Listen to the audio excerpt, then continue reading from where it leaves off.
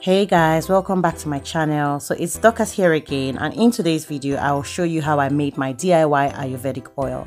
Don't forget to subscribe if you're new here and hit the notification bell so that you will be notified every time I post. So let's jump right into it. So today I have several carrier oils and I have some essential oils as well as some herbs. So today I'll be showing you two methods that I use in making the growth oil. So one thing I need to point out is that you do not need to use all these oils. Two oils or three oils and a few herbs is enough. I basically brought out all the things I have just because I want to have the benefits of all the oils.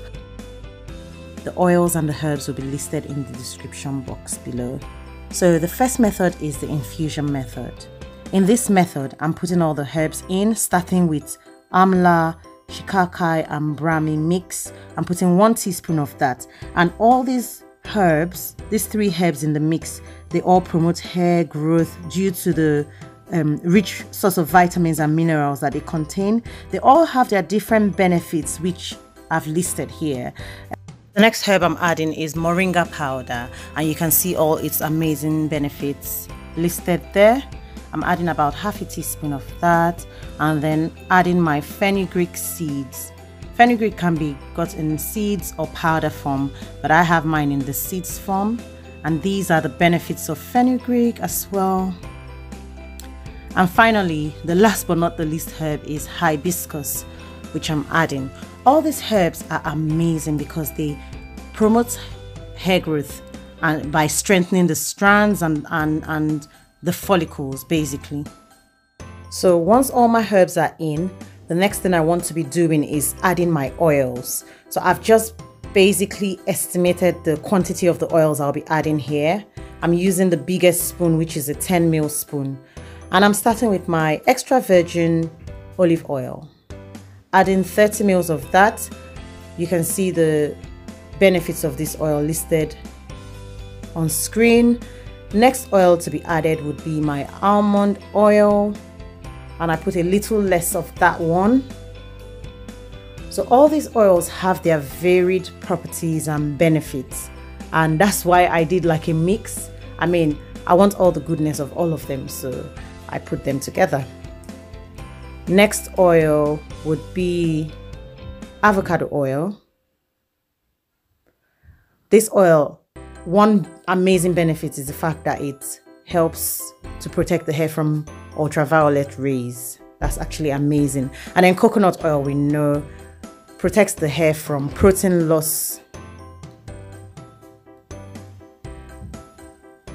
So another oil I'll be adding would be my jojoba oil, which I had just 10 mils left of. So I poured the rest of that in into this mix, I need to go and make a purchase for another one. The final carrier oil I'll be adding is my Jamaican black castor oil. This is quite a thick oil as you can see from the video. So it's used mainly for sealing. It doesn't necessarily penetrate like all the other oils. And then I go on to add my essential oil starting with rosemary oil and then lavender oil.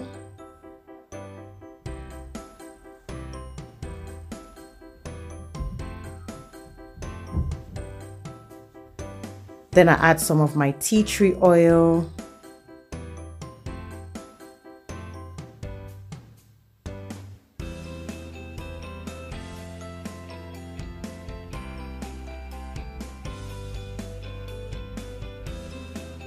and then a few drops of my peppermint oil. So that's all the oils added. All I need to do now is to cover it up and then, well, mix it up first and then cover it up and then put it in a dark cupboard. So as you can see, this looks really pretty. It looks like a work of art. It's really cute. It looks really cute and of course the benefits are amazing as well.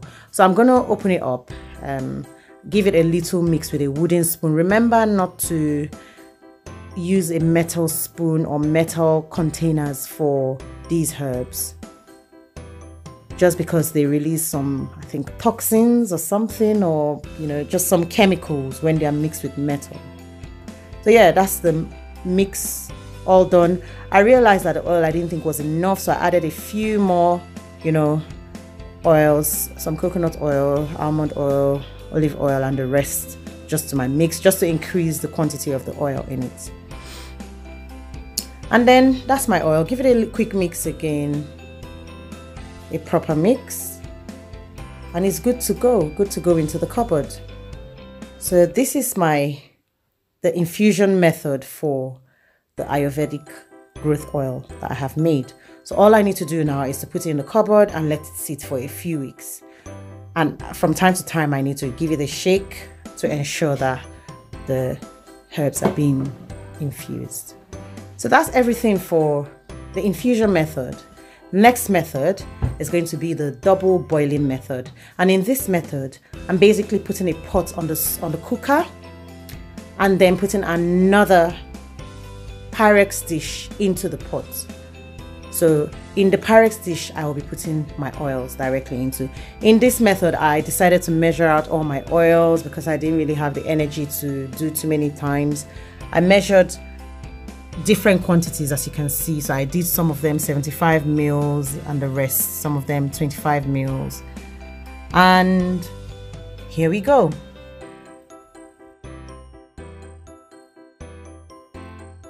So like I said, the water needs to be boiling and then I would add the Pyrex dish where I would put the oils into.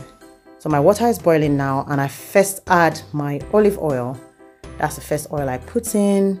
The next oil I put in is my avocado oil. Next oil is the almond oil. Next oil is the coconut oil. And then I have my castor oil.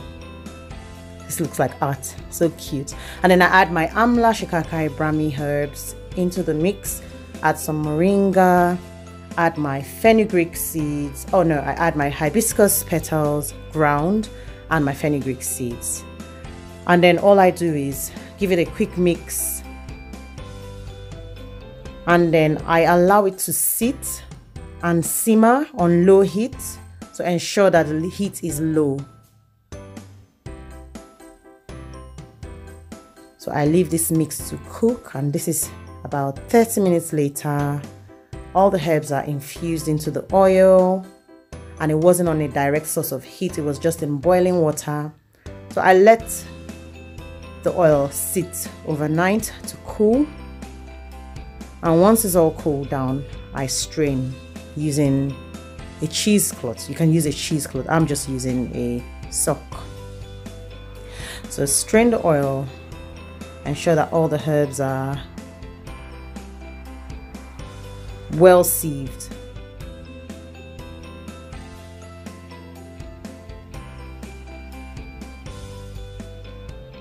When you do this, please, I encourage you to use gloves.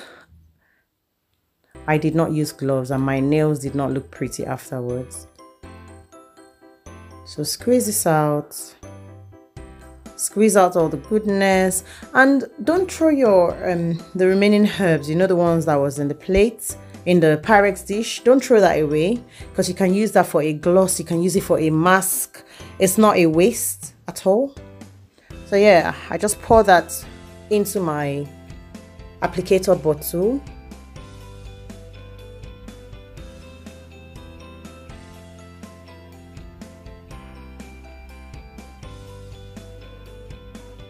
and then I add my essential oils.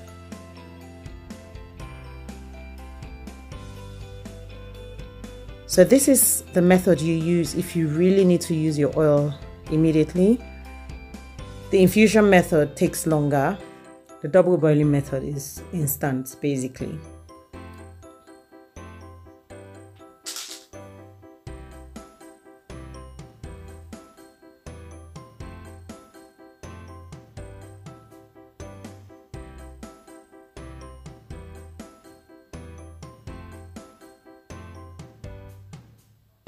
So that's everything done for this method. I just cover it and it's ready to use.